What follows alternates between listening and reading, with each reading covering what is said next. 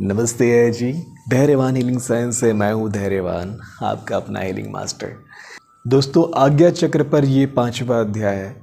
पिछले चार अध्यायों में हमने आज्ञा चक्र से जुड़े बहुत ही गहरी बातों को समझा। आज्ञा चक्र क्या होते हैं? आज्ञा चक्र में क्या करना होता है? कैसे खान पान को ग्रहण करना होता है? पैनल ग्लैंड क्या होता है? मेरे अपने और योगियों के अनुभव क्या कहते हैं? इन सारी बातों पर चर्चा हो चुकी है। आज मैं आपको कुछ दृष्टि से जुड़ी हुई मुद्राओं के बारे में बताऊँगा, क्योंकि ये बहुत ही इम्पोर्टेंट होती है आज्ञा चक्र में आज्ञा चक्र पर जब हम काम कर रहे होते हैं तो हमारा सारा ध्यान तकरीबन पूरे दिन हमारे इस मस्तक पर ही होता है, जहाँ हम तिलक करते हैं। इसे कुछ ऐसे समझिए कि आप अपनी नाक के सीध से एक रेखा खींच लीजिए और अपने कान के सीध से एक रेखा खींच लीजिए। अब वो रेखा जहाँ अंदर में एक इमेजिनरी आप देखिए, जो रेखा जहाँ से टकराती है, वहाँ पर जो केंद्र होता है, उसे ही हम आज्ञा चक्र का केंद्र मानते हैं। पैनल ग्लैंड भी वहीं होता है। जैसा कि हम जानते थे कि पैनल ग्लैंड को ही हम आज्ञा चक्र का फ़िज़िकल फॉर्म समझते हैं, और ऐसा है भी। बहुत सारे योगियों ने अपने अनुभवों में ये साझा किया है कि पैनल ग्लैंड ही आज्ञा चक्र का फ़िज़िकल फॉर्म है। आइए समझते हैं एक ऐसी मुद्रा को जिसे करके हम आज्ञा चक्र पर सारा ध्यान, सारी ऊर्जा को केंद्रित कर पाते हैं, और वो है शाम भावी मुद्रा। शाम भावी मुद्रा में हम अपनी दोनों आँखों की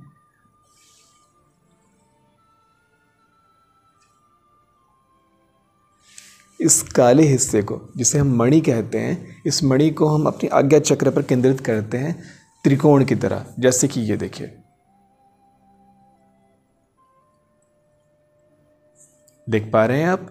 तो ये जब प्रक्रिया हम करते हैं ये चलती हुई गाड़ी में नहीं करेंगे कभी भी ऐसा चलते नहीं करेंगे किसी भी असुरक्षित जगह पर नहीं करेंगे क्योंकि इसको करने के बाद एक मिथली आती है एक तरह का हाईनेस आ जाता है। हम्म, हम हाई हो जाते हैं और सोचने समझने की क्षमता थोड़ी देर के लिए चली जाती है। तो ये प्रॉपर आसन लगाकर प्राणायाम करने के बाद इस योग का अभ्यास करें। जो कि इंस्टेंटली आपकी सारी ऊर्जा को केंद्रित करके आज्ञा चक्र पे पहुँचा देगी।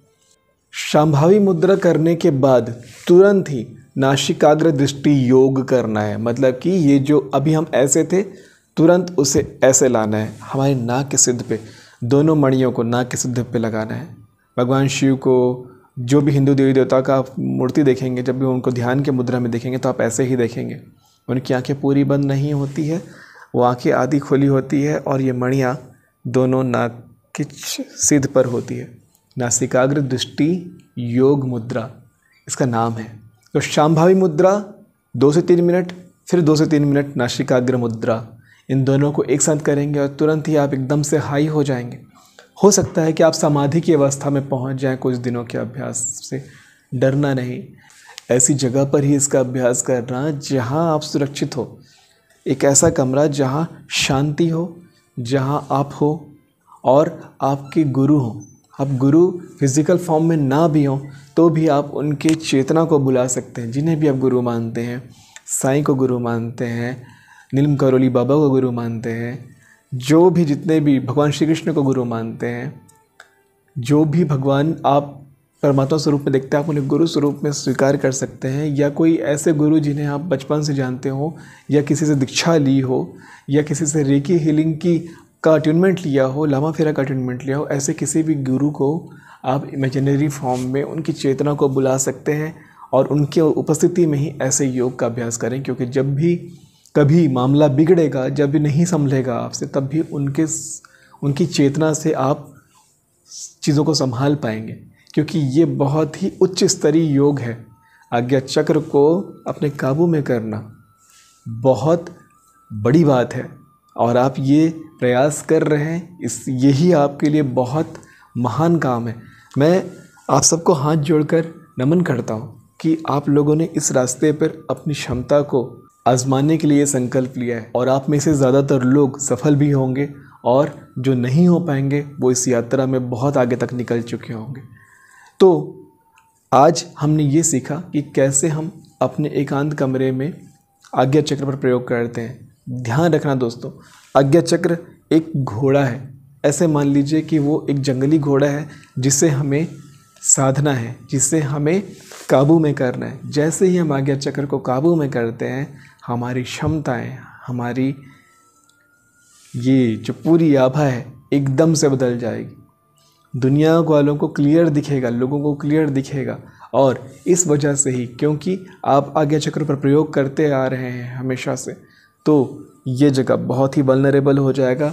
ये क्योंकि हमेशा काम कर रहा है तो ये किसी भी नेगेटिविटी का शिकार भी हो सकता है, किसी और की आज्ञा। कोई ऐसा इंसान जो बुरे नियत से है, कोई ऐसा इंसान जिसने बुरे नियत से आज्ञा चक्र को जागृत कर रखा हुआ है और वो आपको देख के पहचान जाएगा कि आप अपने आज्ञा चक्र पर काम कर रहे हो तो वो आपकी ऊर्जा को छीनने के लिए, आपके ऊपर, आपकी ऊर्जा को छीनने के लिए आपके आज्ञा चक्र से कनेक्ट होकर के आपसे कोई भी चीज़ें कर सकता है या करा सकता है। क्योंकि जो नए साधक होते हैं, उनके पास बहुत ज़्यादा ऊर्जा होती ही है, बहुत ज़्यादा उनके पास क्षमता होती है, लेकिन वो क्षमताओं को थामना नहीं जानते। और जो पुराने साधक होते हैं, वो अपनी सारी क्षमताओं का इस्तेमाल करना जान चुके हैं, इसलिए उन्हें और नई क्षमताओं की भूख होती है। तो हमेशा ध्यान रखेंगे। आज्ञा चक्र के प्रयोग के दौरान कोशिश करेंगे, किसी से हाथ नहीं मिलाएँगे, किसी के चरण स्पर्श नहीं करेंगे, कोई भी फ़िज़िकल टच से बचेंगे, क्योंकि अभी आपको नहीं आता है कि आज्ञा चक्र की ऊर्जा को कैसे अपने अंदर कैद रखें, कैसे अपने अंदर धारण करके रखे हुए ये तो ये, जब भी आप किसी को टच करेंगे, आपकी ऊर्जा सीधे उन तक चली जाएगी और आप एकदम से ड्रेन आउट फील करेंगे। तो ये कुछ बातें हैं जो आपको जाननी थी। शाम्भावी मुद्रा और नासिकाग्र मुद्रा को ध्यान से अभ्यास करना शुरू कर दीजिए। इस पर मैं एक पूरा का पूरा ध्यान वीडियो भी बनाऊँगा। इसकी जस्ट बाद आपको इन दोनों मुद्राओं का प्रयोग कैसे करते हैं करके मैं दिखाऊँगा और उस पर एक मेडिटेशन भी बनाऊँगा। तो आज्ञा चक्र की इस यात्रा में जुड़े रहिए और अपना अभ्यास करते रहिए। मिलते हैं आने वाले अध्यायों में। तब तक के लिए नमस्ते है जी।